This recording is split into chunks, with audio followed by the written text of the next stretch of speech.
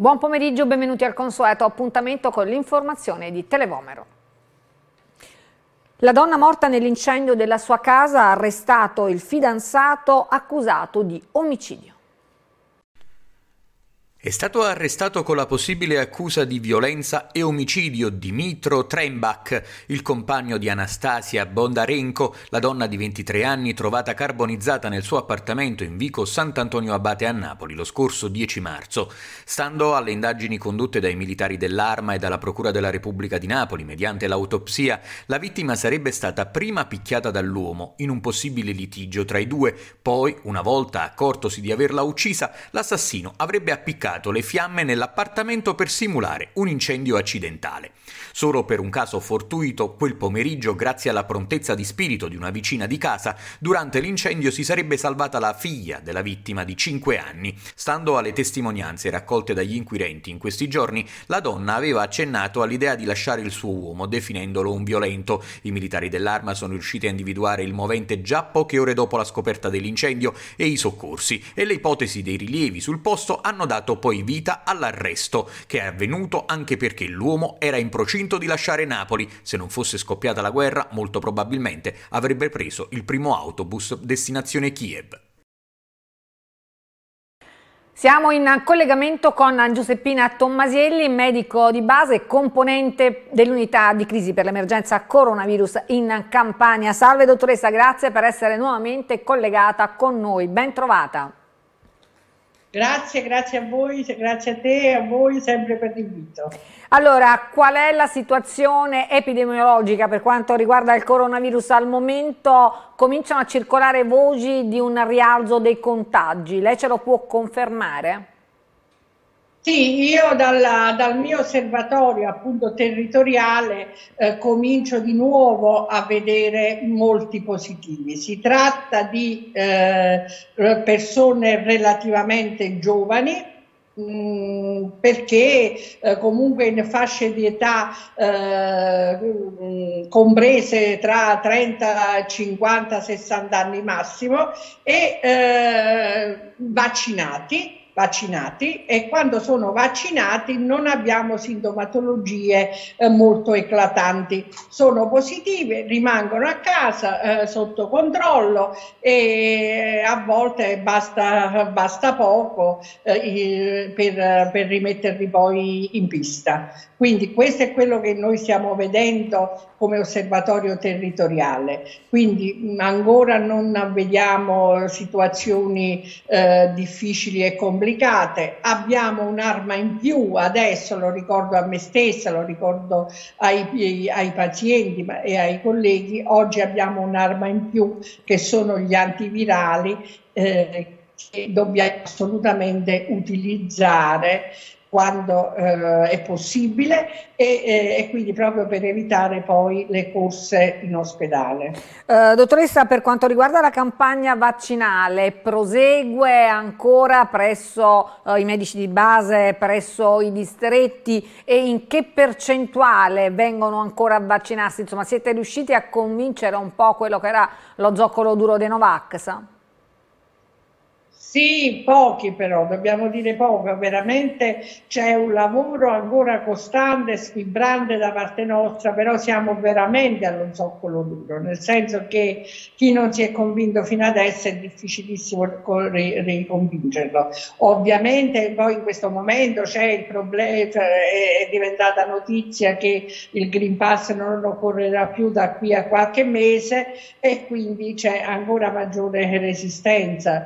Eh, diciamo che la copertura delle terze dosi è stata abbastanza ampia e, eh, e, quindi non stiamo vaccinando molto, eh, esattamente come sta accadendo negli hub, tutto sommato. Eh, stiamo, per qualcuno, eh, i nostri anziani, però ehm, più di uno mi ha chiesto la quarta dose, che ovviamente noi in questo momento, se non sono super fragili, non facciamo, non possiamo fare perché non c'è l'indicazione ministeriale però c'è da parte degli anziani questa richiesta di maggiore copertura. Certo, evidentemente col anche... vaccino si sentono più protetti. Le chiedo, il nuovo vaccino, quello Novavax, eh, è già eh, disponibile anche da noi? Eh, voi medici di base eh, lo, lo avete e potete farlo? E le chiedo anche se coloro che hanno fatto gli altri vaccini possono fare in un secondo momento anche questo, che sappiamo che ha un'azione completamente diversa. Sì, in effetti negli hub l'ASL eh, ha disponibilità di questi nuovi farmaci, ASL di questo nuovo vaccino, Tutti, tutte le ASL della Campania ce l'hanno perché in regione è arrivato, però a noi medici di medicina generale non è stato dato, ma semplicemente perché non l'abbiamo richiesto. Se c'è necessità e se c'è richiesta, certamente io me lo procurerò e lo farò con. Per quanto riguarda eh, se possibile farlo con gli altri vaccini. Io poi insomma dico che alla fine se un paziente è stato vaccinato con due dosi di mRNA e, quello, e quel farmaco non ha dato nessun tipo di problema o pochi problemi ed effetti collaterali, vale la pena rafforzare l'immunità con lo stesso farmaco. Noi stiamo, pensiamo e speriamo di uscire da questa pandemia, purtroppo ci troviamo in un'altra emergenza che è quella del terribile conflitto Russia-Ucraina che inevitabilmente ha dei risvolti anche sanitari perché sono tanti i profughi che stanno arrivando nella nostra regione, nella nostra città e eh, coloro, la maggior parte di coloro che arrivano non sono nemmeno vaccinati e possono avere anche altre patologie. Come la sanità accoglie questi profughi? Per quanto riguarda eh, le vie ufficiali, quindi attraverso il, consol consolato o altre vie tracciabili e ufficiali, certamente le ASL sono organizzate per l'accoglienza e per la vaccinazione, eh, quindi tampone, vaccino e stanno dando i codici STP, cioè i codici per stra eh, stranieri temporaneamente presenti. Eh, questo codice è in effetti la, eh, la, chiave di accesso al nostro sistema sanitario nazionale eh, e regionale. Per le cure eh, successive, sia per eh, gli adulti che per i bambini ovviamente. A questo punto noi eh, come medicina generale, ma anche come pediatri di libera scelta, stiamo lavorando con la regione per capire come è possibile organizzare appunto le cure primarie di questi, eh, di questi profughi, eh, perché a parte il vaccino e eh, il tampone la condizione e gli altri vaccini che dovremmo fare, specialmente ai bambini, perché molti eh, bambini che arrivano non hanno le, no, le coperture previste dal nostro piano nazionale vaccini e quindi quei bambini devono essere assolutamente vaccinati. Ma parte questo, poi eh, questi, questi profughi ovviamente dovranno essere curati, dovranno eh, eh, avere l'accesso al nostro sistema sanitario e quindi certamente alle cure primarie. Quindi noi ci stiamo organizzando con la Regione per capire come la rete di, dei medici di medicina generale può accogliere e può curare questi, questi pazienti. Eh, abbiamo diverse, diverse proposte. Uh, credo in settimana prossima li sottoporremo all'attenzione della Regione per capire come possiamo dare una mano e come possiamo attivarci per offrire le cure primarie ai profughi ucraini. Dottoressa, prima di salutarci ricordiamo veramente che Napoli ha un cuore grande, una gara di solidarietà per sostenere le popolazioni in fuga dalla guerra, anche il suo ambulatorio è diventato un centro, un minicentro di raccolta, eh, veramente in maniera generosa dona anche chi non può. Assolutamente sì, addirittura alcune volte veramente commovente, perché io poi conoscendo le situazioni ah. eh, delle famiglie vedo che viene anche una piccola donazione, viene da uno sforzo, viene da un sacrificio che loro fanno e questo veramente poi amplifica il valore della donazione e, e quindi io non posso che dare una mano per favorire appunto l'accessibilità la, la, a, a un grande gesto di generosità. Dottoressa, noi la salutiamo, eh, le auguriamo buon lavoro, naturalmente torneremo a collegarci prossimamente. Arrivederci. Grazie, arrivederci. Il ponte che c'è, ma non c'è quello di San Giacomo dei Capri, progetti per riqualificarlo. Il ponte di San Giacomo dei Capri al Vomero è un pezzo del paesaggio incompiuto italiano da sistemare, un'infrastruttura mai completata, un luogo abbastanza nascosto e dal quale si accede attraverso un parco residenziale. Il progetto di recupero è stato presentato ieri mattina nella sede dell'Ance, a margine della presentazione di un concorso di idee che mette in palio 10.500 euro. Sarà possibile presentare i progetti fino al prossimo 3 maggio. A valutarli una giuria formata da docenti universitari, architetti e professionisti di fama internazionali. Le migliori proposte saranno esposte al PAN, il Palazzo delle Arti di Napoli, e saranno votate anche dai cittadini. A parlarci dell'iniziativa la presidente del premio Green Care, Benedetta De Falco. Prevede una, um, un invito a progettisti, ingegneri, architetti, studi di progettazione per ripensare questa grande infrastruttura urbana abbandonata da circa 40 anni nel rione alto di Napoli, 140 metri lineari, 2 metri 2000 metri quadrati di ehm, suolo disponibile a pensare eh, ad un giardino, ad un parco pubblico così come chiedono i cittadini di questo quartiere, un quartiere densamente popolato, eh, costretto a cambiare quartiere per poter avere un'area verde fruibile. Quindi noi ci aspettiamo che per il 3 di maggio arrivino tanti progetti eh, da poi mettere all'attenzione della nostra giuria, che è una giuria ehm, scientifica, una giuria tecnica. È un'infrastruttura che si deve sistemare e deve passare il messaggio che si può fare anche a Napoli. Quel viadotto fantasma può diventare una risorsa per l'intero quartiere del Vomero, ad affermarlo l'assessore all'urbanistica del comune di Napoli, Laura Lieto. I fondi servono, ma prima servono i progetti, nel senso che la ricerca dei fondi è sicuramente un'attività essenziale, ma è ancora più essenziale e viene ancora prima la il progetto, le idee, la capacità di saper vedere una trasformazione, di costruire una visione. Angelo Lancellotti, presidente dell'Ance di Napoli, a margine della conferenza stampa di presentazione ha sottolineato come il progetto apre nuovi scenari nell'ambito della rigenerazione urbana. Noi intendiamo promuovere un'architettura che sia costruire intorno alle persone. I progetti devono tener conto de delle persone e l'architettura deve essere un elemento identificativo della città. Per Grazia Torre, presidente di Napoli Creativa, occorre immaginare nuove opere per la città, spazi da vivere tutti insieme. Coinvolgendo i cittadini eh, nel giudizio finale del, della scelta del progetto, eh, cerchiamo proprio di dare voce a tutte le eh, categorie che fanno parte della società.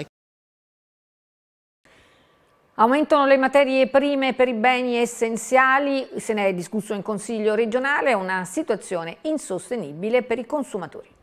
Lo sciopero del pane è dietro l'angolo. I produttori campani lo hanno minacciato questa mattina a margine dell'incontro tra le associazioni di categoria e l'assessore all'agricoltura della regione Campania Michele Caputo, organizzato per trovare una soluzione ai rincari di grano ed energia che hanno spinto molti commercianti a venderlo a più di 4 euro al chilo. Qualora non dovessero essere prese in tempi brevi le soluzioni contro gli aumenti che stanno costringendo tanti produttori a lavorare senza guadagno pur di non rischiare che il prodotto resti invenduto, a fine mese si fermeranno i forni. Tra le soluzioni richieste dai panificatori, spiegano i presidenti di Unipan Confcommercio Domenico Filosa e dell'Associazione Panificatori di Napoli Giuseppe Pappacena, che la Campania torni a produrre la materia prima e in attesa che la natura faccia il suo corso, che la Regione preveda agevolazioni fiscali e aiuti finanziari per sostenere le imprese del comparto. Ci sono terreni enormi che si può mettere il grano. Due, con l'assessore alle attività produttive, di fare degli incentivi ad aiutare le, le imprese della panificazione che stanno per chiudere sui costi che non riusciamo più a sopportare, perché noi siamo piccole imprese, noi già stiamo in mobilizzazione e stiamo per preparare uno sciopero regionale, quindi ci fermeremo. Diversi sono già dei panifici che hanno chiuso perché eh, praticamente non è possibile, si sta producendo e si sta vendendo ovviamente al di sotto dei costi di produzione, ma già da tempo noi abbiamo fatto un po' di analisi sul territorio E, eh, diciamo che a settembre un chilo di pane costava al panificatore 1,30 euro circa, ma costava quando veniva sfornato il pane. Dall'analisi dei vari costi, quindi consideri settembre quanto costava la corrente? La, la farina costava probabilmente un 30, 50% in meno rispetto a... centesimi al chilo. Intorno ai 35 centesimi, oggi 70. Già dalla prossima annata, diciamo dopo, dopo l'estate, ottobre-novembre, si, si, si può già iniziare e anche noi stiamo pensando anche ad una rimodulazione delle misure anche di incentivazione perché qui da, da questo punto di vista aspettiamo anche cosa succede a livello europeo per la, la rimozione di alcuni vincoli di natura ambientale perché adesso siamo in collegamento con l'economista Gianni Lepre. Salve, grazie per essere nuovamente collegato con noi. Ben trovato. Salve a tutti, grazie per l'invito. Allora, viviamo un momento assolutamente difficile, chiediamo all'economista come è possibile insomma, continuare su questa strada, le imprese sono in sofferenza, le famiglie sono in sofferenza, i prezzi aumentano a dismisura e io credo, e lei mi conferma se dico giusto, anche in maniera ingiustificata aumentano questi prezzi, nascondendosi dietro ad un'economia di guerra che al momento insomma, non, non c'è. Beh, incominciamo col dire che in effetti i rincari eh, sono, sono partiti il giorno stesso in cui è partita la guerra, il che praticamente non, non, è assolutamente veritiero né possibile perché ovviamente tutti quanti, compreso eh, le grandi imprese di, di, di, carburanti, quindi praticamente tenevano delle scorte a terra, credo non indifferenti, per cui ovviamente c'è purtroppo, dobbiamo dire tra virgolette, anzi senza virgolette, c'è chi in tutto questo ci marcia e si arricchisce, quindi nel modo più assoluto. Però io oserei dire addirittura compreso lo Stato, perché tra le altre cose se noi ne abbiamo parlato la volta scorsa, abbiamo parlato soltanto dell'aumento delle utenze, oggi eh, ahimè dobbiamo parlare dell'aumento di un po' di tutto, delle materie prime, dei beni essenziali, parliamo anche, che devo dire, del pane, della pasta, che è, è un alimento quotidiano per tutti quanti noi, c'è un rincaro enorme, lo Stato, eh, come detto anche lo Stato ci marcia perché naturalmente i, i rincari relativi a questi beni primari sono dovuti soprattutto al rincaro delle bollette e dei, e dei carburanti.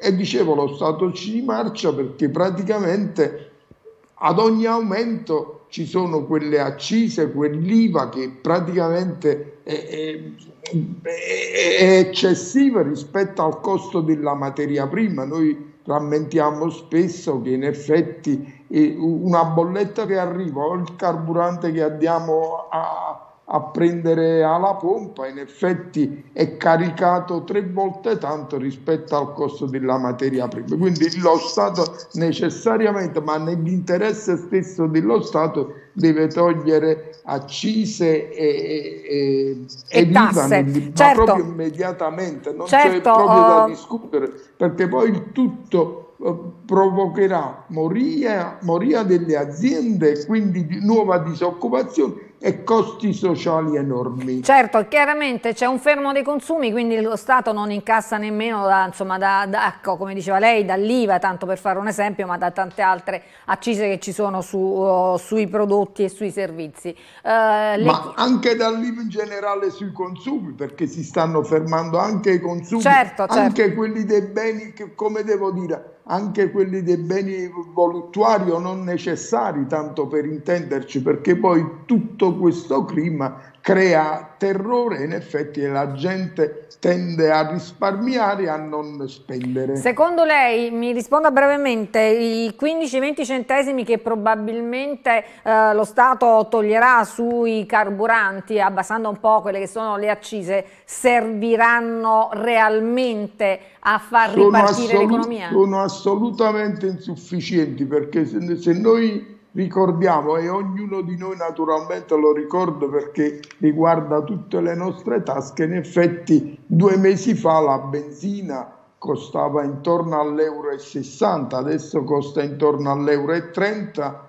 quindi comunque continuo a dire anche lo Stato ci marcia, però contro i suoi interessi io ritengo. Certo, la benzina è arrivata a 2,30, quindi chiaramente c'è un rincaro veramente eh, assurdo Notevole, e insostenibile. sproporzionato. È, diciamo assolutamente insostenibile. A questo punto però bisogna, oltre a provvedere, insomma, a regolare quelle che sono le accise e le tasse, bisogna comunque intervenire con eh, strumenti concreti per aiutare le famiglie e le imprese imprese. Eh, l'assegno unico, ad esempio, che è un intervento che il governo ha fatto a sostegno delle famiglie, eh, in qualche modo eh, può aiutare concretamente le famiglie e quali famiglie saranno aiutate? Noi, noi però dobbiamo... Allora, l'assegno unico praticamente lo, può, lo possono prendere tutte le famiglie che hanno dei figli, quindi in questo caso parliamo anche dei lavoratori autonomi che prima non prendevano i cosiddetti assegni familiari. Noi ricordiamo che l'assegno unico sostituisce gli assegni familiari, sostituisce alcuni bonus che in effetti eh, andavano in detrazione per i figli a carico o perché si avevano dei figli praticamente quindi eh, diciamo che non è è, è svantaggiato e avvantaggiato soltanto chi effettivamente ha, come devo dire, eh, un ISEE molto molto basso, per cui prende 175 euro a figlio fino a 21 anni tra le altre cose e quindi in effetti quelle, quella fascia è avvantaggiata. Eh, tra le altre cose dobbiamo poi dire, quindi a seconda dell'ISEE va da 50 a 175 euro al mese per ogni figlio, dobbiamo dire che parte da marzo per chi ha presentato la domanda per ottenere questo assegno unico entro il 28 febbraio. Chi fa la domanda da marzo ne avrà diritto, l'avrà, riceverà l'assegno unico per marzo ed aprile entro il 30 aprile. Comunque eh, voglio precisare che c'è il termine per la presentazione della domanda fino al 30 giugno ricevendo tutti gli arretrati. Chi farà la domanda dal 1 luglio non avrà diritto ad alcun arretrato.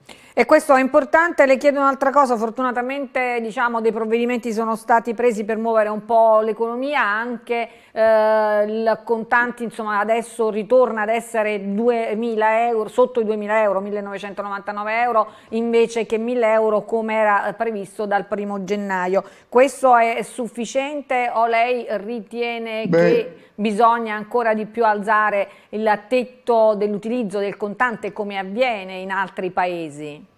Nel modo più assoluto bisogna alzarlo ancora di più. Io rammento che per esempio Germania in Germania non c'è il limite del contante, in Francia è a 10.000, in Svizzera a 90.000 e certamente hanno un'evasione fiscale di gran lunga di gran lunga inferiore alla nostra, quindi non è detto che l'equazione contanti e eh, evasione fiscale sia quella, quella giusta, lo Stato praticamente, eh, come devo dire, eh, nella sua non capacità di perseguire diciamo, l'evasione fiscale se la prende che, col contante che dal mio punto di vista danneggia soltanto l'economia. Per terminare le voglio dare due, due indicazioni di massime. Gli italiani, quelli per bene, hanno conservati nei materassi o sotto le mattonelle, tanto per parlare all'antica, in effetti 200 miliardi di euro. Sulle banche sono depositate fermi 1900 miliardi di euro di risparmio degli italiani. Quindi basterebbe fare un po', come devo dire, eh, di, di, di, di, incentivare in qualche modo a muovere, ad, a tirare fuori i contanti dal materasso e lo si può fare attraverso soltanto un, un condono, perché io ricordo tra le altre cose che in effetti appena qualcuno tira fuori del contanti ha, ha, un accertamento fiscale che non finisce più, ci stiamo molto, come devo dire, stiamo molto contando sul PNRR i contanti conservati dagli italiani sono superiori ai soldi che arriveranno dal PNRR e che dovranno essere restituiti. Allora, noi la ringraziamo, la salutiamo e le auguriamo buon lavoro. Naturalmente torneremo a collegarci per capire insomma, come andrà questa economia così gravemente, esatto, gravemente compromessa.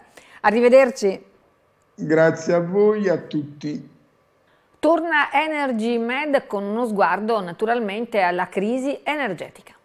Fonti energetiche rinnovabili in alternativa a gas e carburanti. La crisi ucraina ha reso quanto mai attuale il dibattito su come ottenere nel nostro paese energie alternative.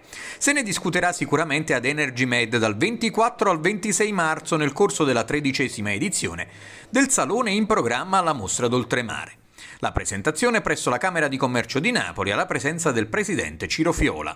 Energy Med è uh, una fiera importante per uh, il nostro territorio come le altre fiere perché portano turisti, portano economia, però uh, in questo anno ha un significato molto particolare, ci fa riflettere sul nostro passato che abbiamo fatto sicuramente scelte sbagliate o addirittura non le abbiamo fatte e questo ci fa vivere di preoccupazione se si chiudono i rubinetti russi sul gas.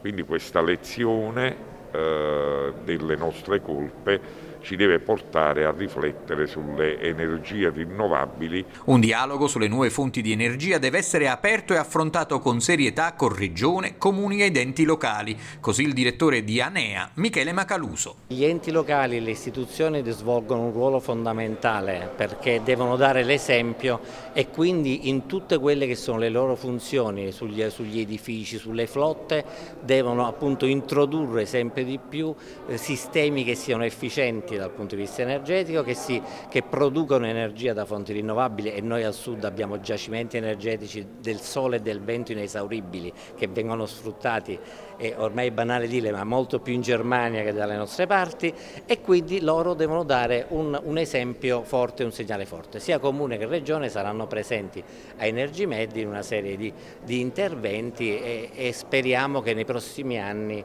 eh, ci sia questo eh, esempio e questo segnale anche da parte delle istituzioni. Il Napoli Basket presenta il nuovo coach. La Gevi Napoli Basket ha un nuovo allenatore. Dopo l'esonero di Pino Sacripanti in seguito al KO con la Open Job Metis Varese, il club presieduto da Federico Grassi ha presentato il nuovo coach Maurizio Buscaia. Il 52enne barese ritorna così in Serie A arrivando alla quarta panchina diversa nella massima serie italiana. Oltre a Brescia, Buscaia in Serie A ha allenato anche Reggio Emilia e Trento. Con l'Aquila un percorso ultradecennale in due diverse esperienze, una delle quali consecutiva dal 2010 2010 al 2019 e in cui ha ottenuto svariate promozioni, 5 partecipazioni ai playoff e due finali scudetto consecutive. Dal 2019 Buscaia è anche il capo allenatore della nazionale olandese. La conferenza stampa di presentazione ieri nella sala stampa del Pala Barbuto. Subentrare, entrare in corsa è sempre ovviamente complicato, questo è un momento molto delicato, è una fase di campionato molto delicata, mancano nove partite, per cui quello che bisogna fare è lavorare quotidianamente al massimo delle nostre possibilità e cercare di vincere le partite. Per cui ragionando in questo senso vai avanti giorno per giorno, pensi partita per partita e ti aspetti che la squadra, come ha fatto in questi due allenamenti, dia il massimo e più del massimo. Lo stanno facendo con ottimo spirito, con ottima presenza mentale, fisica, tecnica eh, sai sono pochi giorni, quindi eh, è importante agire sia sulla parte tecnica ma soprattutto su quella me mentale in questo momento. Siccome ragioniamo giorno per giorno e partita per partita, uno mette l'attenzione sulla palla 2 e la prima difesa che deve fare, poi sulla seconda, poi sulla terza e poi va avanti così, cercando sempre di essere ehm, come mentalità al possesso successivo. Questa città è meravigliosa, è meravigliosa, non è bella, è meravigliosa. Sono abituato a dire quello che penso, è ovvio, sono appena arrivato, può sembrare, invece ti assicuro che è così. È, è, è una città meravigliosa di gente, di passione che io conosco come tipo di mentalità, perché lo sono, per cui mi aspetto quello. È davvero tutto, grazie per essere stati con noi, un piacevole pomeriggio, ci ritroviamo come di consueto nelle prossime edizioni di Televomero Notizie, arrivederci.